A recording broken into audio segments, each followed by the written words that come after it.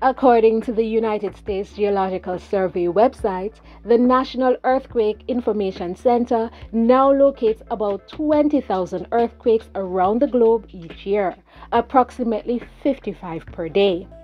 The infamous 1692 earthquake is probably the most prominent in our minds as Jamaicans.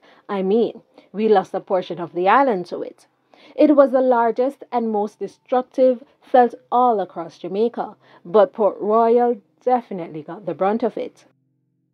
According to the Port Royal Jamaica History website, the 1692 earthquake caused most of the city to sink below sea level. About 2,000 people died as a result of the earthquake and the following tsunami, and another 3,000 people died in the following days due to injuries and disease.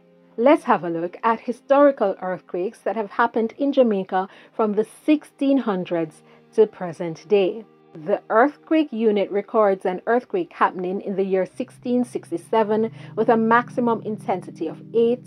No location was listed and then another happens in 1688 in Port Royal. Now, after the 1692 earthquake, there was one in 1771 in Port Royal and Kingston, 1812 in Kingston, 1824 in Kingston, St. Catherine, and Clarendon, and 1839, this time in Montego Bay, St. James.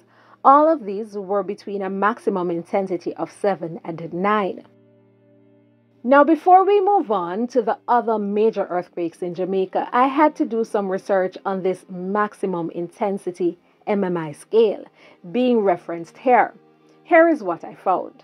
The modified Mercalli intensity MMI estimates the shaking intensity from an earthquake at a specific location by considering its effects on people, objects, and buildings. At high intensities, above MMI 6, earthquake shaking damages buildings. While the Mercalli scale describes the intensity of an earthquake based on its observed effects, the Richter scale describes the earthquake's magnitude by measuring the seismic waves that caused the earthquake. The two scales have different applications and measurement techniques. So one is based on observed effects while the other is based on seismic waves. Get it? Got it? Good. Let's move on. In 1907, there was another earthquake called the Great Kingston Quake, in which over 1,000 people died, and across Jamaica, 9,000 people became homeless. This was a maximum intensity of 9. They did not only have to contend with the earthquake and aftershocks, as a fire also broke out and there was more. The earthquake was followed by a seismic wave or tsunami. All contemporary accounts agree that the wave on the north coast arrived at points from Port Antonio to St. Ann's Bay very shortly after the earthquake, the usual estimate being about three minutes. The velocity of tsunami's waves in water of this depth is of the order of 150 meters per second, so that on this basis, the position of generation of the tsunami must have been about 27 kilometers or 17 miles from the north coast in the region of Annotto Bay. This conclusion is supported by the fact that the waves were not observed on the south coast. After this, there were two historical earthquakes. One took place in 1914 in eastern Jamaica the other in 1943 in St. Elizabeth. The next seismic event took place in 1957, but this time Western Jamaica got the brunt of it, with St. James recording most of the devastation. There were three deaths, three fires, and damage to buildings, bridges, and roads. After that, the site listed the following earthquakes one in Kingston and St. Andrew in 1993, which was felt island wide. Another in 2005 in central Jamaica felt strongest in Clarendon, Manchester, and Trelawny. In 2020, there was an island wide and regional event that included Cayman and Cuba. I think you remember that one. It happened in January, and I think it was about 7.7 or 7 point something. Now, I was wondering about the missing dates, but I think it's probably because this list only mentions earthquakes above a certain magnitude, or as the title says, historical earthquakes. Because when I checked some of the missing years, earthquakes or tremors did take place. For example,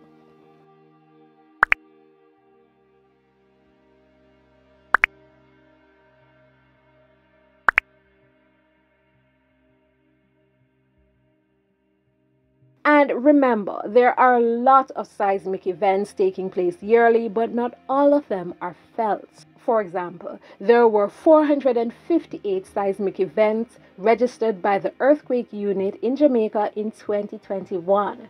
Only seven were felt. There were 414 seismic events in 2022, only eight were felt. But here's the whopper. According to the University of the West Indies Earthquake Unit, there were whopping 18 earthquakes in 2020, ranging from a magnitude of 2.8 to 7.2. 2020 was just a sugar year. Now, let's talk about 2023. This is from the Earthquake Unit UWIMONA website. I have all the links in the description box so you can check out everything I've discussed here so far. The first earthquake of 2023 happened on the 29th of January, magnitude of 3.5 in Port Antonio. On April 15th, Yallahs Plantain Garden Fault Zone, St. Thomas Parish 4.9. April 18, Blue Mountains Block, Portland Parish 2.8. May 7th, Yallahs Plantain Garden Fault Zone, St. Thomas Parish 3.7. May 16, Yallahs Plantain Garden Fault Zone, St. Thomas Parish 3.3. September 21, Blue Mountains Block, St. Andrew Parish. September 22, Blue Mountains Block, Portland Parish 3.6. October 30, Blue Mountains Block, St. Andrew Parish 5.6. And this is the most recent. And I hope that's it for this year. Now, according to this website, these are frequently asked questions regarding earthquakes. Why are we having so many earthquakes?